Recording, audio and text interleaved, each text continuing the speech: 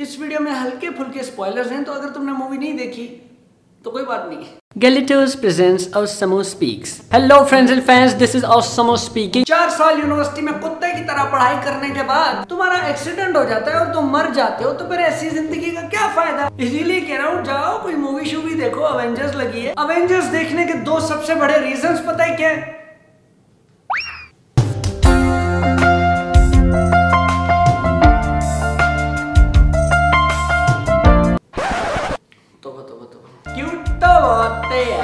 Really sorry मैं बहक गया था। प्लीज़ डोंट अनसब्सक्राइब मकसद की बात ये कि देखो पढ़ाई कर लेना वरना ये दो तीन जुमले हैं इनको रट लो आगे ज़िंदगी में बड़े काम आएँगे। हाँ सर मैंने गोल चक्कर से लेफ़्ट ले लिया। हाँ सर जो लोकेशन आपने बताई थी मैं वहीं खड़ा हूँ। अपनी इंस्पिरेशन ढूंढो स्पेशली मैकेनिकल वालों। टोनी स्टार को देख के तुम भी कोई मशीन बनाओ जो तुम्हारे काम आ सके। इन्फिनिटी वॉर से पहले कई बार थेनस भाई अपना केमियो कराते रहे और किसी हद तक वो यही बताते रहे कि मैं मौत और टट्टी की तरह बिना बताए किसी दिन आ जाऊँगा। मैं एक दिन आऊँगा मैं एक दिन आऊँगा एक दिन आऊँगा। एक मिनट। हम इस लड़के को जानते हैं।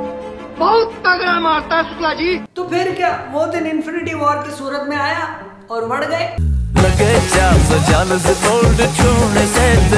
तारीख के पन्नों को अगर पलट के देखे तो पता चलता है कि सिविल वॉर के बाद आयरन मैन और कैप्टन के बीच में कट्टी हो गई थी क्योंकि कैप्टन बकी का साथी बना हुआ था और बकी ने बहुत अरसा पहले तावीजों के असर में आके आयरन मैन के वालिदेन को मार के दुनिया से अलविदा कर दिया ਉਹ ਇਹਨੇ ਤੇ ਕਦੀ ਟੱਟੀ ਕਰਕੇ ਹੱਥ ਨਹੀਂ ਧੋਏ ਮੈਂ ਦੱਸ ਰਿਹਾ ਤੁਹਾਨੂੰ ਨਹੀਂ ਕਦੀ ਧੋਏ ਪੁੱਛੋ ਇਹਦੇ ਕੋਲੋਂ लेकिन थेनोस को थले लगाने के लिए ये दोनों तो क्या पूरा अवेंजर्स का परिवार इकट्ठा होता है? क्योंकि यूनिटी चाहिए भाई सिचुएशन ही कुछ इस तरह की बहुत नाजुक सूरत हाल है। लेकिन बात दरअसल पता है क्या है?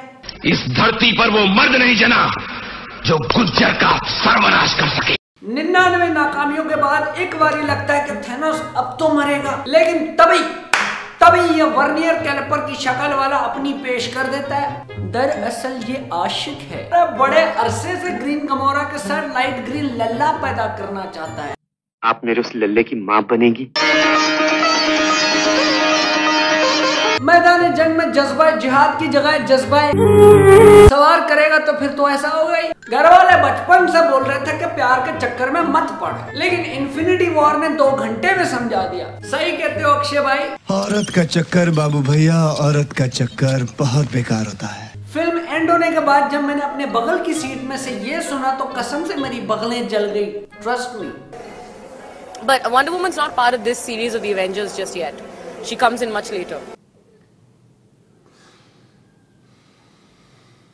Wonder Woman आए लिखवा लो मुझसे ये समझ बॉम्ब सूंघती है वंडर वुमन तो डीसी है ये मार माता किसी बांदर बबून के साथ अवेंजर्स देखने चले जाना, लेकिन किसी ऐसे शख्स के साथ ना जाना जो तुमसे इस तरह के सवाल पूछता रहे। ये कौन है? ये कौन है? ये उस काले का बाप है ना? तो ये ये ये तो उसी की तरह लग रहा है। एक सही कॉमिक फ़ैन की नज़रों से तुम तभी गिर जाते हो जब तुम इस बातें करते हो। थेनोस को सुपरमैन ही मार सकता है। ये लोग अवेंजर में फ्लैश को क्यों नहीं लाते? ओ भाई, बात सुनो। ये डीसी परिवार है, ये मार्वल परिवार है। ये दोनों नहीं मिल सकते।